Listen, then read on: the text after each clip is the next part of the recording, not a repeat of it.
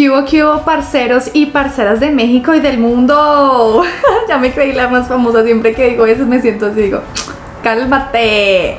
Oigan, el día de hoy vamos a compartir ideas sobre este video tan chévere, tan interesante. Así que como siempre ustedes siéntense y relájense. Así que el título de este video es Los intentos de Moctezuma de salvar Tech Tenochtitlan. Ay, creo que sí lo logré pronunciar bien. Ustedes me dejan saber. Ustedes ya saben también que siempre acá en las descripciones les dejo el link directo para que vayan al video original y le dejen mucho amor por allá, muchos likes, se suscriban a los canales originales creadores de este contenido, porque gracias a ellos es que ustedes y yo estamos aquí compartiendo ideas. Así que digo, bueno, miren, aquí como ya sabemos la historia de México y de la cultura maya y azteca que al fin y al cabo también pues estuvo inmersa en todo eh, Latinoamérica pues ha sido algo muy interesante. Hay muchas cosas que todavía no sabemos, hay muchas otras que todavía siento que la historia nos ha querido esconder muchos detalles importantes, pero ustedes y yo sabemos que la cultura azteca y la cultura maya han sido realmente las bases de lo que somos hoy en día, todos estos países, ¿no? Entonces, bueno, pues veamos cuáles fueron esos esfuerzos y, y qué tanto tuvo que batallar el pobre Moctezuma para que no destruyeran, pues finalmente lo que eran las bases de toda su cultura, ¿no? Tanto la población que tenía como todo lo que va a lograr construir.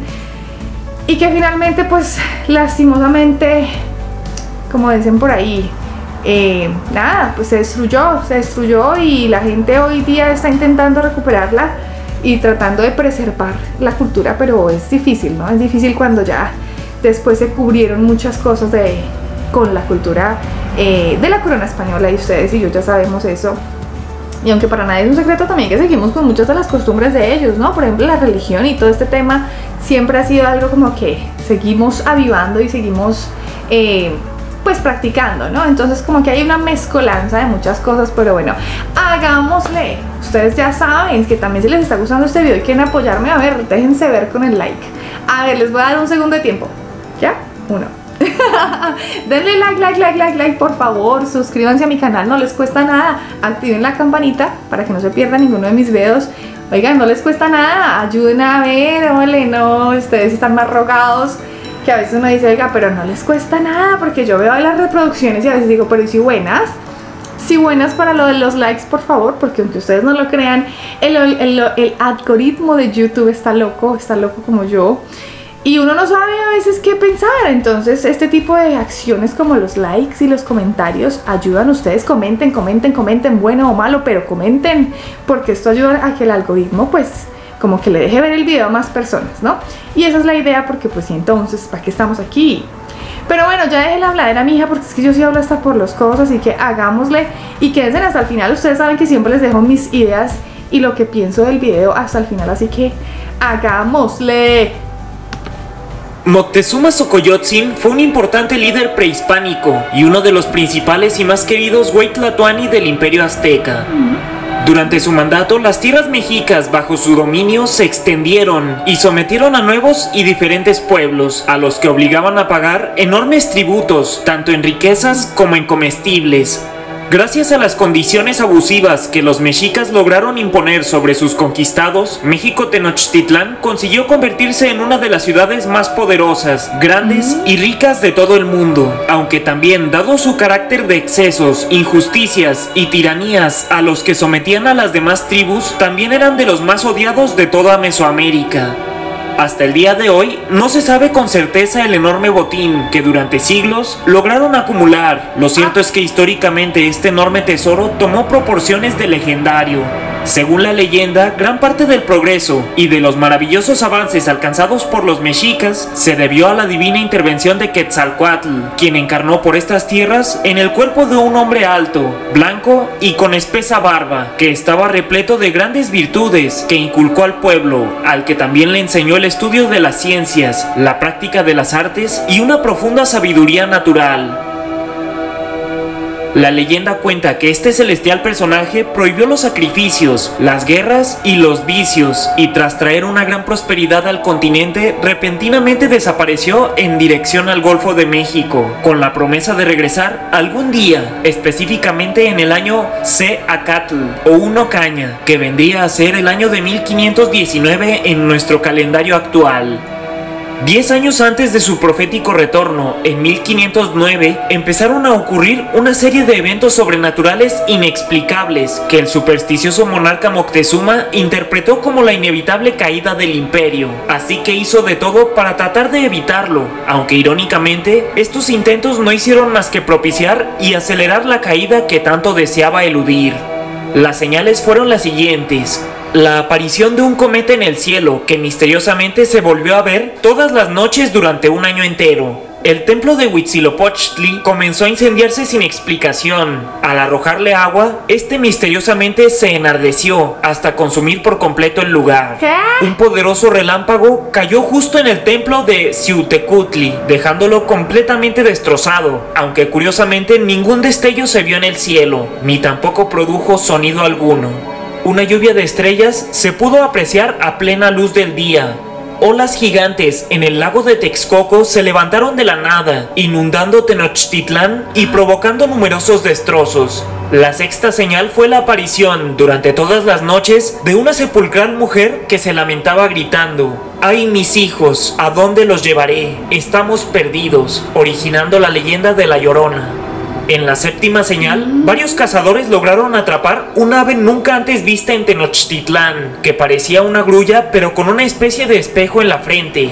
El Tlatoani pudo apreciar en el reflejo la imagen de cientos de hombres extraños aproximándose a Tenochtitlán. La imagen desapareció inmediatamente y en un rápido descuido el ave también. Y finalmente aterradores monstruos se apreciaron merodeando la ciudad. Muy para desgracia de Moctezuma, llegado el año 1 Caña o 1519, se recibieron avistamientos de extraños hombres que habían llegado a las costas de Veracruz. Casualmente venían desde el Golfo de México, dirección en la que desapareció Quetzalcoatl. Ay, y para madre. colmo, la descripción física de aquellos desconocidos, altos, blancos y con una tupida barba, coincidían perfectamente con el supuesto físico de Quetzalcoatl. Moctezuma decidió enviar algunos emisarios para recibir a los españoles, aunque también llevaban un truco bajo la manga. A Hernán Cortés, que se creía era Quetzalcoatl, se le ofreció como obsequio uno de tres trajes a escoger, uno de Tlaloc, otro de Tezcatlipoca y uno último de Quetzalcoatl. En el supuesto de que fuera en realidad Quetzalcoatl, rechazaría a los demás atuendos, al no ser dignos de él. Otra casualidad más fue que Cortés decidió escoger, por obra del destino, el atuendo de Quetzalcoatl, lo que alarmó terriblemente a los mexicas. Para evitar el avance español, Moctezuma decidió enviarles elegantes obsequios hechos de metales preciosos y piedras finas, con la Ah. condición de que no avanzaran más, aunque este intento solo sirvió para despertar la codicia de los españoles, que viendo oro Pues de por medio no pudieron contenerse y decidieron marchar a Tenochtitlán. Para más desgracias, un viejo casco oxidado que Hernán Cortés envió como obsequio a Moctezuma resultó ser exactamente igual que una prenda con la que se representaba a Huitzilopochtli. Gracias a que en Mesoamérica los mexicas eran enormemente repudiados por los pueblos bajo su poder, fue muy sencillo sumar a los habitantes nativos a las fuerzas de los españoles, que tenían la intención de conquistar la riquísima ciudad de Tenochtitlán. Completamente Sí. convencido de que se trataba de una deidad, Moctezuma recibió a Cortés y cedió en todas sus peticiones, aunque el monarca también estaba seguro de que su imperio caería, pero no sabía ciertamente cuándo. No. Para mantener la paz, una vez en Tenochtitlán, a los españoles se le dieron numerosos regalos, entre ellos el mítico penacho de Moctezuma, ahora ubicado en la ciudad de Viena.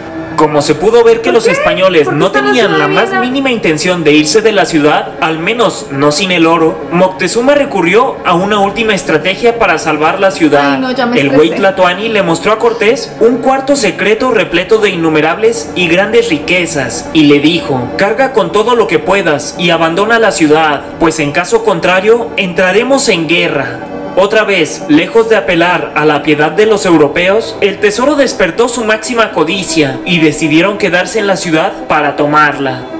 Los mexicas, hartos de la presencia española, que ya había demostrado en varias ocasiones no ser ninguna divinidad, decidió levantarse contra los ibéricos en la hoy recordada como Noche Triste o Noche de la Victoria, Capaz según se analice. Esa noche, aprovechando la entre comillas inesperada muerte de Moctezuma, al que se le debía hacer un sepulcro de honor, los españoles se dirigieron al cuarto del tesoro para robarlo, aunque para su sorpresa, este ya se encontraba mayormente vacío, pudiendo hacerse solo de una pequeña parte, que aún así era bastante voluminosa, la gran mayoría del cual se perdería en la desesperada huida de Tenochtitlán. Más de un año después, Hernán Cortés conquistó Tenochtitlán, pero por más que buscó por todas partes el tesoro nunca apareció, y aunque interrogó e incluso torturó al último Tlatoani, Cuauhtémoc, del tesoro no quedó ni rastro. ¿Qué piensas al respecto? ¿Será que en su afán de salvar a la ciudad, Moctezuma mismo propició su caída, cumpliendo así con las profecías a las que tanto temía? ¿Qué sería ahora de Tenochtitlán de no haber caído por los españoles? Para mí, Watchers, yo soy Snooty Aaron y en nuestra nueva programación te esperamos todos los martes, jueves y domingos a las 8 pm por nuestro canal de YouTube. Apóyanos comentando, compartiendo y dejando algunas sugerencias de temas que te gustaría ver. Por cierto, en esta sección donde nadie llega están todas las fuentes del video, por si gustas checar alguna.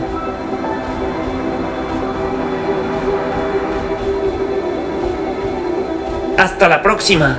Gracias, gracias al video de Main Watchers.